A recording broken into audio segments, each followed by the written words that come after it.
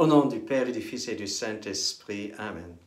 Béni soit notre Seigneur Jésus-Christ, béni soit la Vierge Marie, la maman de Jésus, notre chère maman. Aujourd'hui, il est question comment est-ce que je vois? Est-ce que je vois seulement avec mes yeux biologiques, physiques, ou est-ce que je vois aussi avec les yeux de mon cœur, avec les yeux de la foi? Beaucoup de gens m'ont dit au, au cours de mon sacerdoce, Monsieur le curé, je ne crois seulement ce que je peux voir. D'autres encore, ils ont dit, Monsieur l'abbé, j'ai du mal à comprendre la parole de Dieu. J'aurais besoin d'explications. Voilà déjà une très bonne approche lorsque les gens cherchent honnêtement des explications et essayent de s'y mettre et de se laisser enseigner. Mais toujours est-il que cela ne va pas suffire. Il nous faut davantage.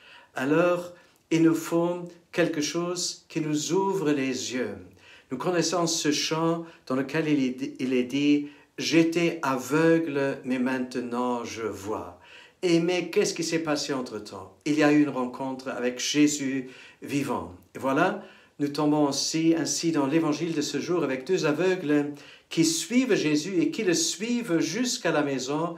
Et alors Jésus leur demande Qu'est-ce que vous voulez que je vous fasse? Mais Seigneur, que nous puissions voir. Alors Jésus dit, Est-ce que vous croyez que je peux le faire? Et disent, Je crois. Alors je crois que c'est cela, cette démarche dans la foi de dire, Jésus, je veux et je veux croire et je mets ma confiance en toi.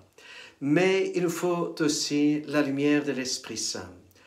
Un exemple très très connu, fameux, est Saint Paul. Lui, il était maître dans la loi et dans la parole de Dieu. Il connaissait l'Ancien Testament, euh, vraiment, vraiment à merveille, mais il lui fallait aussi que ses yeux soient ouverts par la lumière, par la force de l'Esprit Saint, afin qu'il puisse reconnaître Jésus comme le Messie.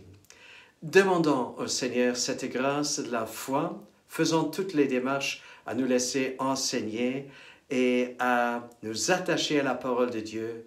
Et Jésus, il va ouvrir les yeux de notre cœur au nom du Père et du Fils et du Saint-Esprit. À nous tous une bonne, une sainte journée.